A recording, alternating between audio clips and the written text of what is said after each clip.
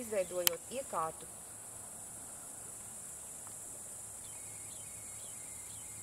pamatiedzīvotāju dzīves telpu sistēmiskai ekspropriācijai.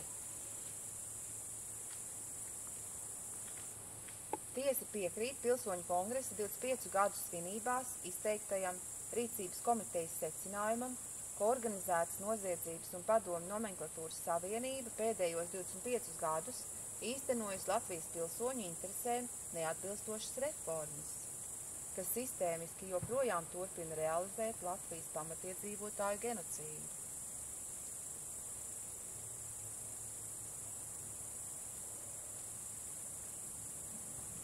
un tiesa piebilst, ka Latvijas Republikas 4. māja valsts nav īstenojusi ANO pamatiedzīvotāju deklarācijas likumdošanā valstī uzliktos pienākumus pamatiedzīvotāju tiesību nodrošināšanai. Un tāpat tiesa informē, ka neviena partija nav atbildējusi uz Latviešu biedrības 4. decembrī iesniegto ziņojumu par eksistenciāli katastrofālo latviešu dzīves apstākļu situāciju un tādējādi paši nolieguši savas rīcības spējas, kamdēļ arī šī tiesa ir nodibinājusies. Lai būtu rīcības spējīga struktūra.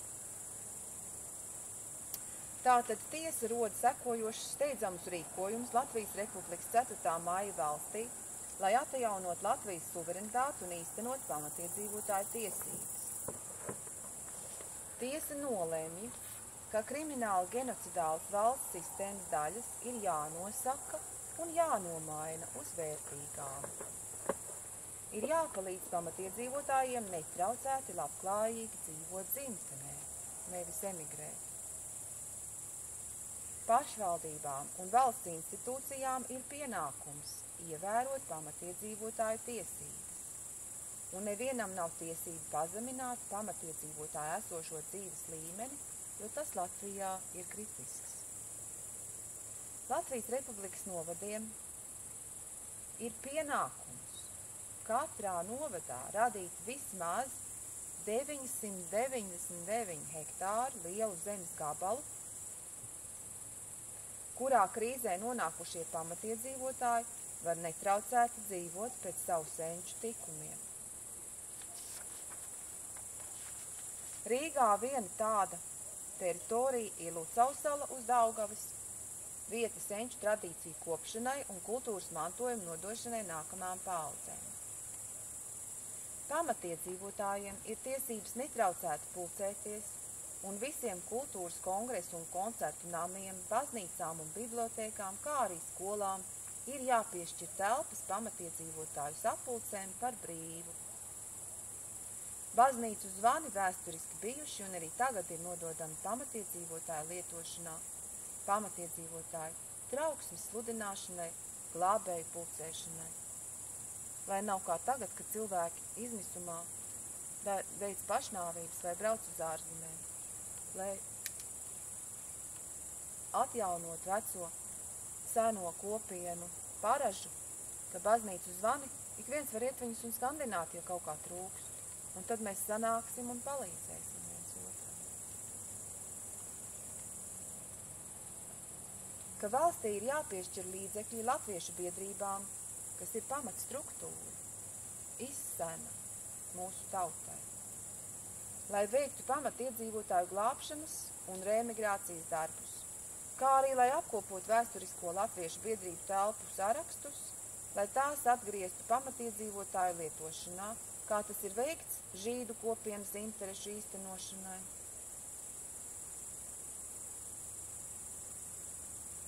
Torņakalna Latviešu biedrības ēka Pārdaugavā ir vēsturisks Latviešu biedrības īpašums, tāpat visas gaismas pilī pārvākušās bibliotēka ēkas un arī nams skolas ielā 32. Latvijas Republikas 4. māja valsts institūcijām ir jāveic šo apstākļu faktiska leģitimizācija. Pamatīdzīvotājiem ir tiesības izmantot pašu pārvaldītu darba augļu apmaiņas līdzekli – naudu. Ar kuras ērtu pieejamību valstī pamatiedzīvotāji ir jāapgādā. Un pamatiedzīvotāju dzīves vietas ir neaizskaramas. Tiem pamatiedzīvotājiem, kuriem nav dzīves vietas, tā ir jānodrošina labklājības līmenī un jārada iespēja to privatizēt. Un šo lēmumu netraucētai īstenošanai tiesa iesaka pamatiedzīvotājiem apzīmēt savu dzīves vietu ar īpašām zīmēm, kas norāda viņu pamatiedzīvotāju statusu. Tātad zīme ir apaļa vai astoņstūra, un uz tās ir uzrakstīts teksts.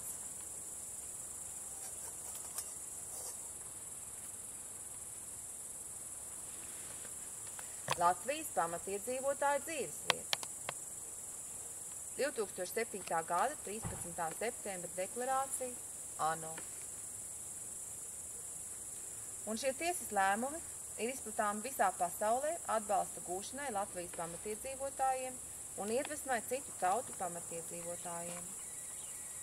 Latviešu biedrības tikuma komisijas goda tiesas deviņi tiesneši ir parakstījušies un kontakts. Tātad ar šo deklarāciju vēl precīzāk jūs varat iepazīties labie.lv. Tāpat tās ir šī ratificētā deklarācija, kas ir Angļu deklarācija bijusi par atomkara sistēmu kriminalizāciju, kas ir ārkārtīgi būtiska, jo tas tiešām nav tā, ka vienkārši latvieši ir aborigēni šeit un eh, viņiem ir tiesības šeit uz zemi. Tas ir daudz spēcīgāk, kāpēc mūsu darbs ir nozīmīgs. Tas ir sistēmisks risinājums, lai apstādinātu visu dzīvības izdzēšanu uz šīs zemes. Tāpēc, kā atomkara draudi nav pieņemami dzīvai vidē. Tas ir risks, kas ir neadekvāts. Viņš nav pieņemams nevienai dzīvai būtnē. Un to pakļaut, tam pakļaut cilvēkus un zvērus un visu dzīvo vidi ir nepieņemami. Un tas ir neizsakāms noziegums pret dzīvo vidi, ka tāds risks ir radīts. Un ka finansiālās struktūras, kas šo risku ir radījušas, joprojām ir spēkā un nav sistēmiski aizliegtas. Un ar šo deklarāciju es šodien nelasīšu, jo tā ir angliski. Iepazīstināšu jūs tik vien to, ka tā notika Jūrmalā dubultos no 1. līdz 7. jūnijam šogad, 15. gadā. Un Nāk, un viņa notiks tagad katrus trīs mēnešus, no 1. līdz 7. datumam, tātad nākamā no 1. līdz 7. septembrim. Un tā notiks tik ilgi, kamēr mēs nomainīsim šīs kriminālās sistēmas uz veselajām. Mēs vairs nepieļausim šādas iekārtas turpinājumu. Un šeit ir 14 punkti, kas ir drusku līdzīgi tiem pieciem, kurus es jau nesen nolasīju. Bet var papildināt ar to, ka ir kriminalizēta šeit jaunā pasaules iekārtas korporācija un radiācijas risku modelēšanas sistēma. Tāpat ir kriminalizēti atomieroči un to industrijas. Kriminalizētas ir arī zinātniskās institūcijas, kas atbalsta atomkara īstenošanu.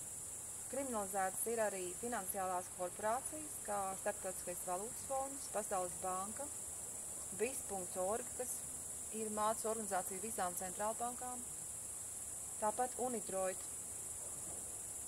unidroid.org, kas ir privatizācijas, visu īpašumu privatizācijas likumdošanas virsorganizācija Romā, dibināta Musolīni la, laikā, statūta sarakstīta.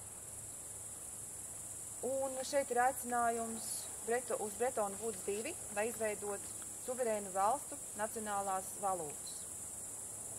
Tāpat ir kriminalizēta administrīvās institūcijas, kas ekspropriē vietējo iedzīvotāju īpašumu. Tas nozīmē visas tiesu izpildītāju institūcijas, kas atņem īpašumus pamatiedzīvotājiem.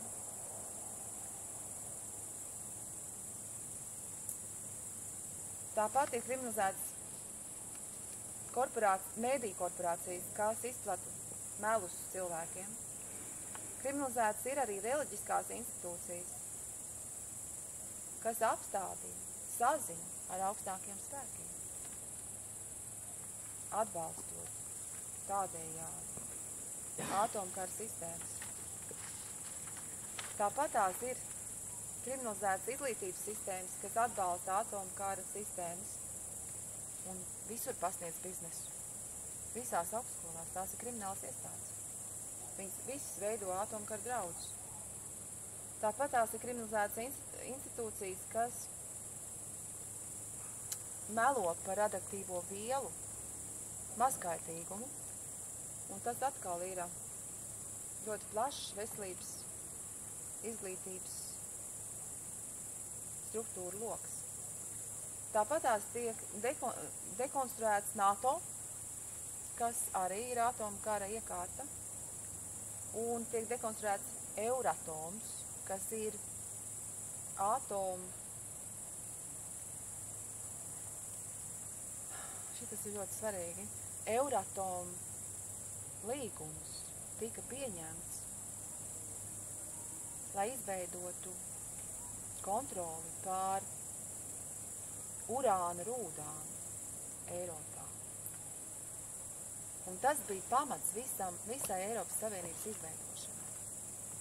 Īstenībā, lai gūtu kontroli pār atomieročiem un lai gūtu kontroli pār atomu ieročus radošajām rūdu atradnēm. Tika arī izveidot vēlāk Eiropas Savienība. Jo caur Eiropas Savienību viņiem piedara visas rūdas, kas atrodas mūsu zemes dzīvēs. Un līdz ar to viņi kontrolē visus atomus.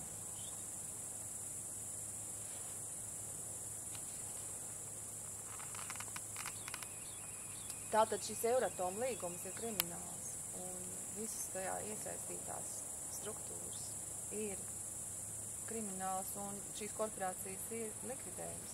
Kas, un, un pēdējais punkts ir, protams, veltīts tam, kad šī starptautiskā goda tiesa mīl katru cilvēku un sargā to dievišķās tiesības un saprot tos. Un kas ar to ir teikts? Ar to ir teikts tas, ka šie cilvēki, kas ir iesaistīti šajās kriminālajās struktūrās, lai ne, nesatraucās, ka viņiem tiks darīts pāri. Um, ne tajā gadījumā, ja šīs tiesas, kas šo veikušas, būs pie varas.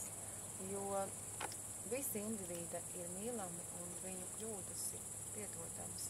Viņi vienkārši nedrīkst būt pie varas. Un tā ir tā metodika, kad tiek likvidētas korporācijas un iestādes kā uzņēmumi, bet cilvēki, kas tajās darbojas, necieš būtiski no tā. Šī sistēmiskā struktūra maiņa nav mokoša nevienam individam. Par visiem tiks gādāts un parūpēts mīloši un sirsnīgi. Vienkārši cilvēki, kas ir veikuši šo, šos nozieg, nozieg, noziedzīgo sistēmu darbus, vairs viņus neveiks, jo tiks nomainīta sistēma. Un uh, pie varas būs cilvēki, kuri atbilst šai anketai, kuru es jau iepriekš minēju. Un šī anketa, kas sastāv no simts lapas pusēm, kura jāizpild cilvēkiem, kuri būs pie varas, viņā ir trīs posmi, kā jau tika teikts.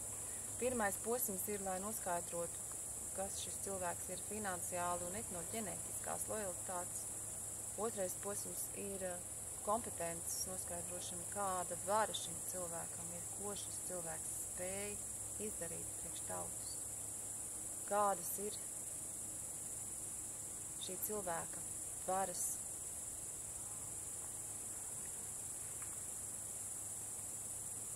ko šis cilvēks var. Tā ir vara. Un tas ir jāzina mums. Un, uh, un trešais posms ir līgums ar tautu, lojalitāte tai. Katram cilvēkam, kas ir pie, kas ir pie varas, ir jāslēdz šāds līgums, ir jāuzraksta savus zvērests. Šī gadījumā mums, Latvijas pamatiedzīvotājiem, latviešiem. Un uh, tad arī nodibināsies kārtība, kad pie varas būs lojāli, varoši cilvēki, kas ir etnoģenētiski un finansiāli lojāli mūsu tautai, mūsu pamatiedzīvotājiem.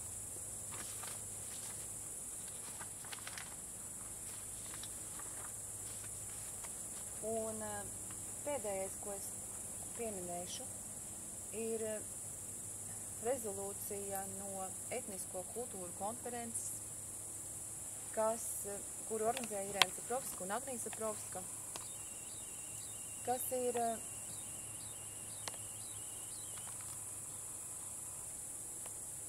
tieši vērsusies pret satversmes 41. pantu, kuru 15.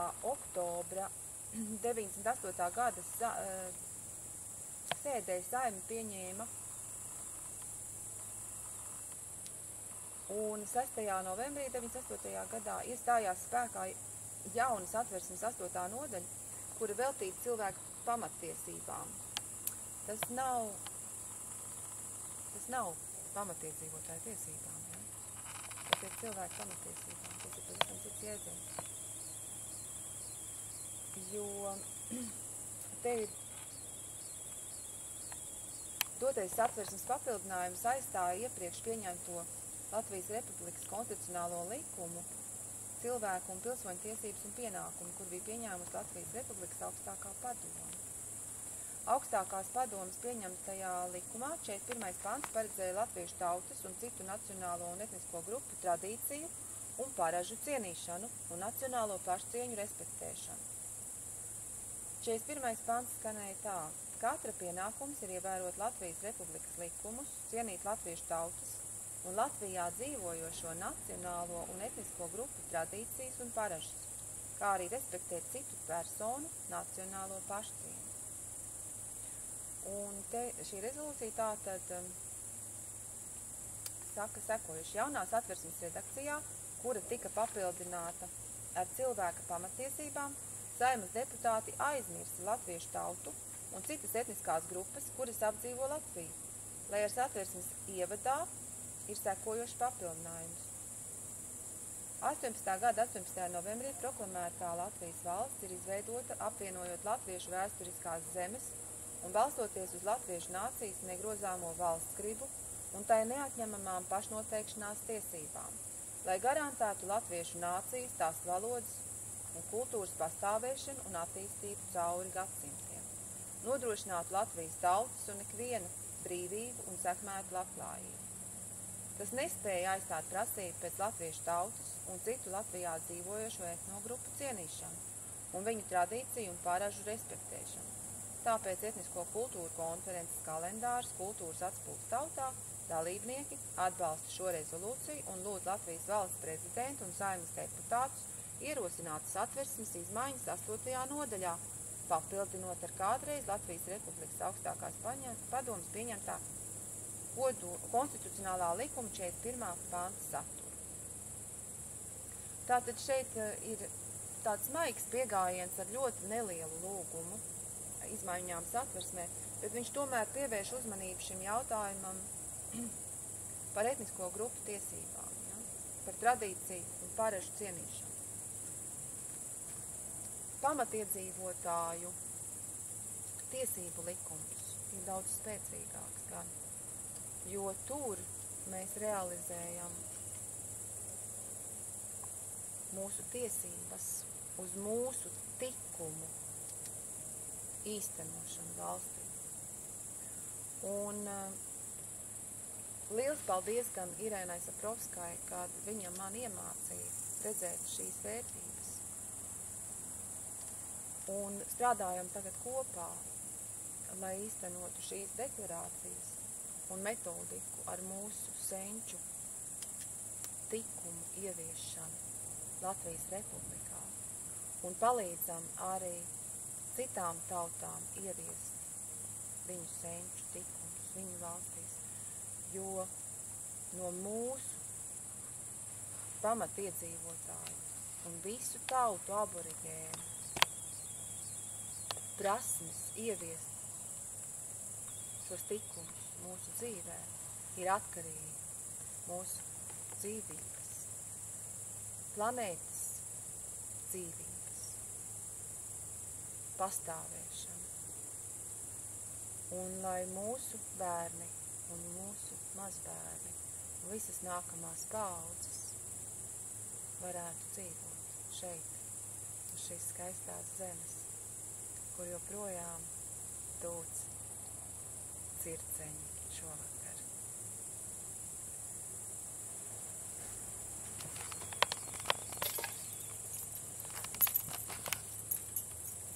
Light up.